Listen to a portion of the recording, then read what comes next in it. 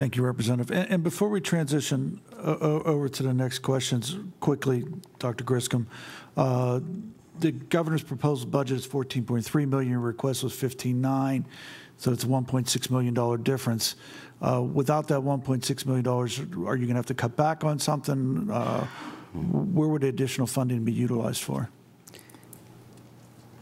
We're pretty conservative I know that. in our approach to things. Um, We have a higher ratio, a, a smaller ratio of administration, faculty, or, and staff to our faculty and to our students.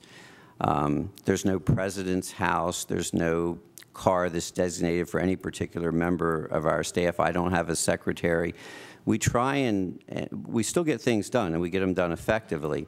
Um, We've been uh, the Aspen top 10% of two-year colleges in America since the inception of the award, and we're a Simon Scholarship um, uh, nominee this year. But we just try and be as conservative as we can uh, with our money.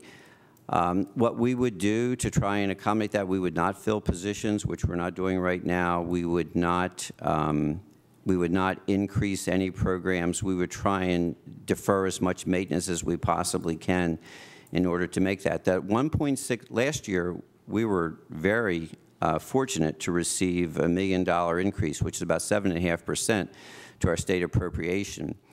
We spent $1.2 million more to, this year in salaries and benefits for mandated incre increases in salary and benefits and things of that nature. So we're kind of treading water. We've done as many things as we possibly can internally to increase capacity. We've leased over 50,000 square feet of private sector manufacturing space to in, improve, increase uh, programs. We doubled the size of our metal fabrication and welding program. We doubled uh, um, masonry program. We've added programs in the evening. We added software engineering this year.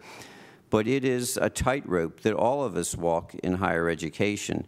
But again, I don't see this, I, I see this as an investment. I don't, we, we talk about this as education. I think it's economic development. If we can grow this workforce, if we can provide these great employers that we have in Pennsylvania with the workforce they need, they can grow their revenues by 30 and 40 percent.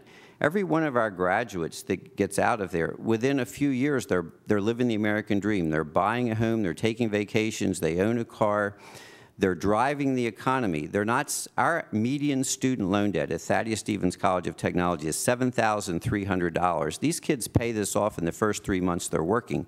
So they're buying things, they're consumers, they're driving the economy, they're paying taxes, and the companies that they work for are doing the same thing. So to me, this is economic development more than it is just about education.